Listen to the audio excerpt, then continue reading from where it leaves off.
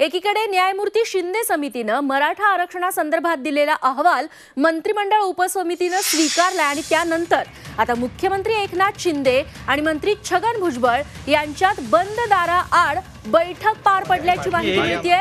थोड्याच वेळापूर्वी ही बैठक संपली आहे मराठा आरक्षण दुसऱ्या टप्प्याचा अहवाल सादर झाल्यानंतर भुजबळ आणि मुख्यमंत्री भुजबळ हे मुख्यमंत्री यांच्या बंगल्यावरती पोहोचले. सरसकट कुणबी नोंदींबाबत भुजबळांनी संशय व्यक्त केलेला आहे. त्यामुळे या बैठकीत त्या अनुषंगानं काय चर्चा झाली याकडे सर्वांचंच लक्ष लागलंय.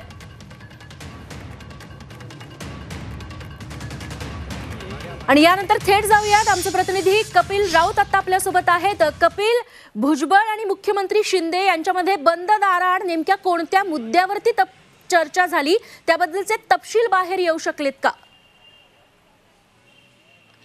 खरंच मुख्यमंत्रीचा जो बंग- बंगला आहे, याच्यावर खूप महत्त्वाच्या घडामोडी घडलेल्या आहेत. सर्वात प्रथम तर एक उपस मराठा आरक्षणासंदर्भात उपसमितीची बैठक पार पडलेली आहे.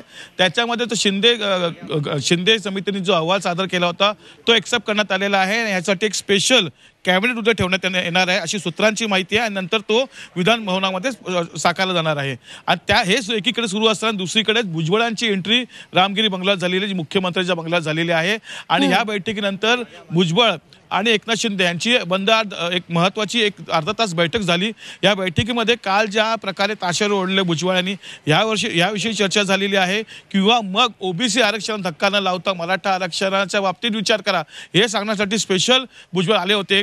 ओबीसी आरक्षणाबद्दलची काही महत्वाची माहिती भुजबळ आता या मुख्यमंत्र्यांनी पुरवली असेल आणि मा- चर्चा झाली असेल अशीही सूत्रांची माहिती आहे. त्याचबरोबर एक सह सर्वांचं म- एक महत्वाचं मत मत समोर येत आहे राजकीय मत. का काल ज्या प्रकारे भुजबळांनी भाषण केलं होतं. जनांकांच्या विरोधात आणि त्याच्यानंतर सरकारवरती ताशेरे ओढले होते. त्यानंतर आज सकाळपासूनच भुजबळांवरती मोठ्या प्रमाणात राजकीय दबाव होता.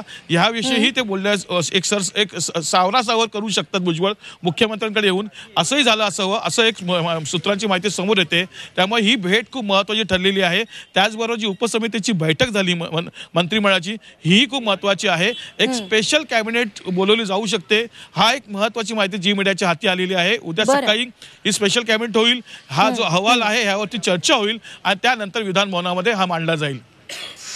निश्चित कपिल तुमच्याकडून वेळोवेळी अपडेट्स जाणून घेत राहू. तुर्तास धन्यवाद या सगळ्या तपशिलांबद्दल. छत्रपतींचा विचार म्हणजे